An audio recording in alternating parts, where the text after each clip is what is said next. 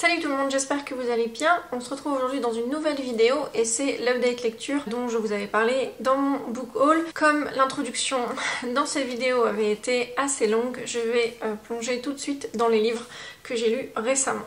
Le premier, c'est Half a World Away de Mike Gale, dont je vous avais dit dans le book haul que j'avais absolument adoré cette lecture. On suit donc l'histoire de Kerry et Noah. Le livre est d'ailleurs écrit de leurs deux points de vue euh, différents. Noah et Kerry ont été euh, séparés pendant leur enfance puisque leur mère ne pouvait plus s'occuper d'eux et euh, Noah était un petit bébé, il avait à peu près deux ans et il a été donc euh, recueilli, adopté par une famille qui est assez aisée, assez aimante. Et de l'autre côté, on a Kerry qui avait donc une dizaine d'années et qui est euh, donc plus ou moins gardée dans un centre, je ne sais plus exactement comment ça s'appelle. À ses 18 ans, elle devient indépendante. À savoir que Kerry, à partir de ce moment-là, elle essaye de, voilà, de rentrer en contact avec Noah, elle lui écrit des lettres à chaque grande étape de sa vie en espérant que quand lui il aura atteint donc sa majorité, il aura souhaité vouloir en savoir plus sur sa vie d'avant et ainsi il pourrait savoir qu'il a une sœur. En revanche, Noah, comme il a été accueilli dans une famille, euh, encore une fois, euh, très aisée, très aimante, euh, qui n'a pas voulu forcément lui cacher les choses, mais qui lui a apporté quand même une protection et qui lui a apporté voilà, une, un espace de famille cocon et voilà, il, s'est dit qu'il n'avait pas forcément besoin de savoir euh, qui il était avant. Euh, il n'avait pas forcément besoin de savoir, euh, comment dire, son passé, ses origines, etc. Et du coup, il n'a jamais cherché à, aller au service de l'adoption et de, voilà, de découvrir si potentiellement il y avait quelque chose qui l'y attendait. Et du coup, bah, Kerry et Noah ne se connaissent pas. Fast forward un petit peu, donc 30 ans se sont déroulés entre voilà, le moment où Noah donc a 2 ans, Kerry en a 10, euh, donc là ils ont environ une trentaine et une quarantaine d'années. Kerry a quelque chose qu'elle doit dire à Noah absolument et elle ne peut plus attendre que Noah potentiellement euh, veuille rentrer en contact avec elle ou quelle que soit la raison pour laquelle il n'a pas encore euh, cherché à la contacter. Voilà, elle coupe un peu tous les, tous les ponts qu'il y a entre les deux et rentre en contact avec Noah. Et donc Noah apprend qu'il a une sœur et voilà, c'est le début de l'histoire. Chacun des personnages dans leur propre histoire. Donc Noah a une femme et une fille. Euh, leur relation avec donc sa femme n'est pas forcément euh, sous les meilleurs auspices en ce moment. On va suivre donc Kerry avec son fils de 10 ans qui, voilà, Kerry essaie de lui offrir la meilleure vie possible parce que forcément elle n'a pas forcément eu ça quand elle était enfant, quand elle était adolescente. Et on va bien sûr découvrir Kerry et Noah ensemble, leur relation, leur évolution, leur rencontre. Et en fait, chaque bout de l'histoire, un petit peu, est un puzzle qui aide à comprendre les personnages, qui aide à comprendre les relations. Et bien sûr, finalement, le secret un peu de l'histoire, c'est pourquoi Kerry a décidé de rentrer en contact avec Noah maintenant. Qu'est-ce qui a changé entre avant et ce point-là? Et voilà, comment vous dire que j'ai absolument adoré cette histoire. J'ai voilà, j'ai trouvé les personnages ultra attachants. J'ai trouvé leur histoire à chacun très intéressante et assez pertinente. J'ai trouvé que voilà, les, personnages entre eux aussi, la complicité, l'alchimie fonctionnait super bien. J'ai beaucoup aimé l'écriture, j'ai trouvé que c'était fluide. Moi, j'ai pouvais pas m'arrêter, je tournais les pages, je tournais les pages parce que vraiment j'avais besoin de savoir ce qui allait se passer après. Le décor aussi du livre a fait beaucoup pour moi. J'aurais pas trouvé ça aussi immersif si le livre s'était déroulé dans d'autres partie de Londres, mais il se trouve que les quartiers de Londres qui sont dépeints ici, ce sont des quartiers que je connais bien puisqu'ils ne sont pas très loin de chez moi, comme par exemple Primrose Hill où habite Noah. Et du coup, j'avais vraiment l'impression à chaque fois que Kerry ou Noah marchaient dans ces quartiers, que je marchais avec eux. Et voilà, il y a vraiment beaucoup d'aspects intéressants d'histoire de, famille dans ce, dans ce roman. Alors après, on pourrait se dire aussi à certains moments, est-ce que tu n'en fais pas un peu trop? Je sais pas comment expliquer, mais c'est plus que parfois il y a un peu peut-être de la surenchère entre guillemets pour garder un petit peu le lecteur captif ou pour euh, un peu de pathos, mais voilà, j'ai quand même été très émue. J'ai passé les 75 dernières pages à pleurer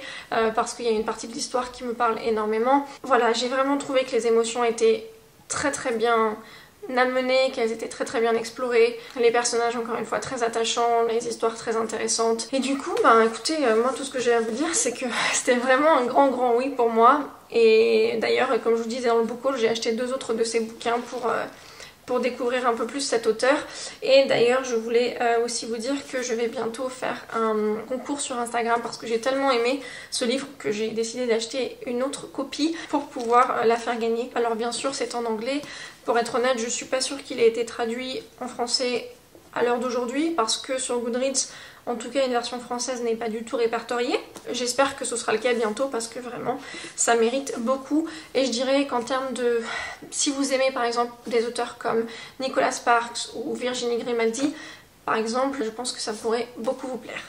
Ensuite, j'ai lu Le syndrome du spaghetti de Marie Vareille qui est donc paru chez PKJ. Pourquoi je me suis tournée vers ce livre-là avant de lire d'autres livres de Marie Vareille, puisque celui-ci était mon premier de cette autrice? Pour être tout à fait honnête, je ne sais pas trop. Je dirais que j'avais potentiellement envie de quelque chose de familier aussi, et c'est vrai que les livres de PKJ, les YA de PKJ, j'ai toujours dans le passé euh, eu de très bons moments avec eux, et aussi parce que je le voyais beaucoup passer sur les réseaux sociaux et que les gens en disaient beaucoup de bien. Donc je me suis dit, pourquoi pas? Euh, Ça ne veut pas forcément dire que je ne tenterai pas d'autres livres de Marie Vareille qui sont publiés bien avant. Pour celui-ci, donc on suit Léa qui est une jeune adolescente qui est un peu une force de la nature. Elle s'entraîne au basket tous les jours, c'est ce qu'elle veut faire de son avenir. Elle veut entrer dans une école qui l'emmènera à la NBA.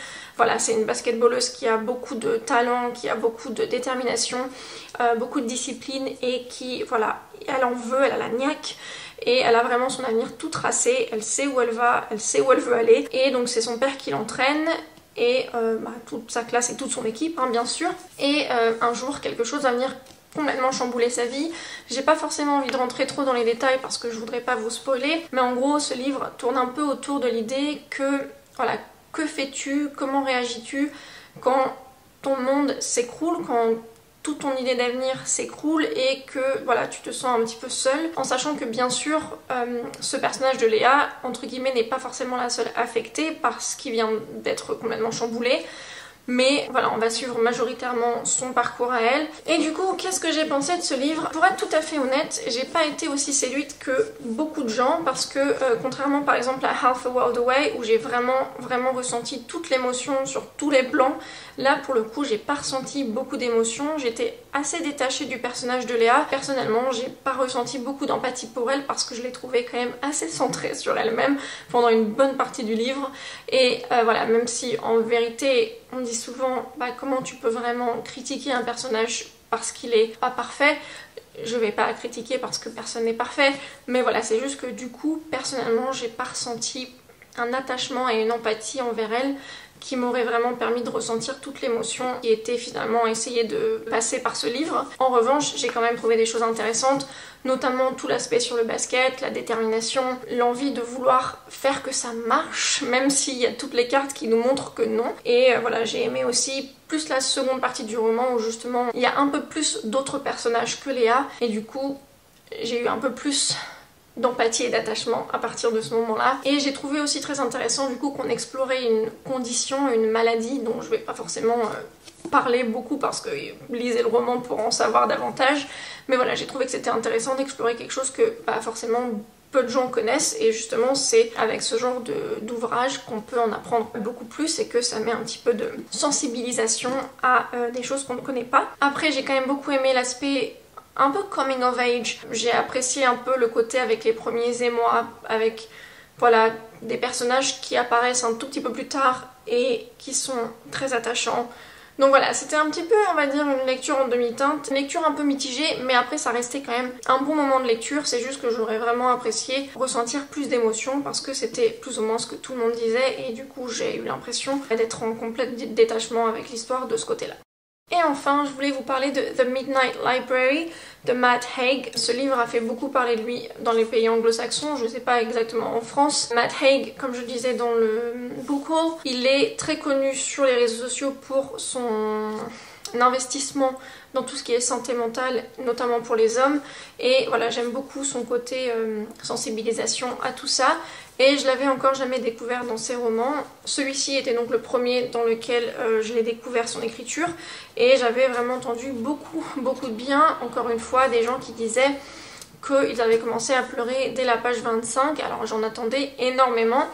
L'histoire c'est donc Nora qui a l'impression que la vie n'a plus rien à lui apporter, c'est un petit peu le désespoir complet, tout semble aller mal dans sa vie, les mauvaises nouvelles s'enchaînent, elle a l'impression d'avoir vraiment personne. Et du coup euh, un soir elle décide de mettre fin à ses jours. Sauf qu'elle se réveille dans la Midnight Library qui est en fait finalement un petit peu l'espace entre la vie et la mort où euh, dans cette Midnight Library elle a l'opportunité de choisir des options de vie qu'elle aurait pu vivre si elle avait fait des choix différents à un point T dans sa vie. Et du coup, voilà, elle explore de nombreuses possibilités, de nombreuses euh, opportunités pour voir si bah, effectivement il y avait une vie qu'elle aurait eu envie de vivre. Bah, il y a des vies dans lesquelles, si elle avait fait certains choix, bah, peut-être qu'elle aurait une vie qui, de premier abord, a l'air absolument euh, fantastique, mais au final qui n'est pas aussi belle qu'elle n'aurait pu le croire. Et du coup, on explore toute cette philosophie un petit peu dans le livre. Tout ça pour dire que au niveau de mon avis, j'ai été un tout petit peu déçue. Encore une fois, c'est comme pour le syndrome du spaghetti.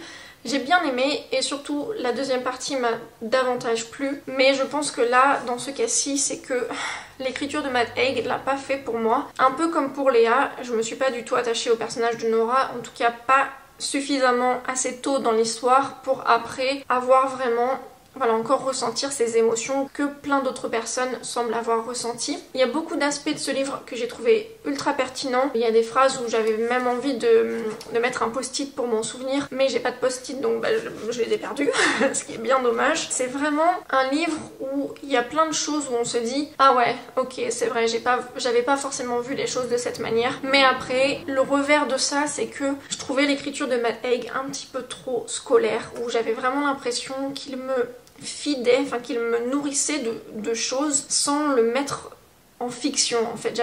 Je sais pas exactement comment expliquer ça, mais voilà, il, il fait souvent des références à des philosophes et j'avais plus l'impression de lire un essai que de lire une fiction et c'est ce qui m'a un peu gênée. Voilà, il y avait la majorité du livre où je me disais ok super et du coup souvent bah, je le lisais pas pendant 2, 3, 4 jours parce que j'étais pas plus intéressée que ça donc voilà c'était un petit peu décevant de ce côté là parce que j'en avais entendu tellement de bonnes choses et je m'attendais tellement encore une fois à pleurer toutes les larmes de mon corps surtout que tout ce qui est quand même dépression et faire des choix qu'on regrette ou qu'on ne sait pas trop si c'est les bons, etc. C'est des choses que je comprends et je compatis tellement. Mais en fait, ouais, en fait je pense que c'est vraiment l'écriture de ma tête juste qui m'a posé un peu problème. Donc voilà, euh, c'est tout pour cette update lecture. J'espère que potentiellement euh, bah, ça vous aura donné euh, envie de lire un ou ces trois livres si vous ne les avez pas encore lus. Si c'est le cas, par contre, je veux bien avoir vos retours aussi. Comme je vous disais, le syndrome du spaghetti et The Midnight Library sur les réseaux sociaux, Goodreads, etc. ont reçu beaucoup de chroniques dithyrambiques, donc potentiellement que c'est votre cas aussi. Voilà, j'espère que mes prochaines lectures seront aussi sympathiques et en attendant, je vous retrouve très vite pour une prochaine vidéo. Merci beaucoup d'avoir regardé celle-ci. Bye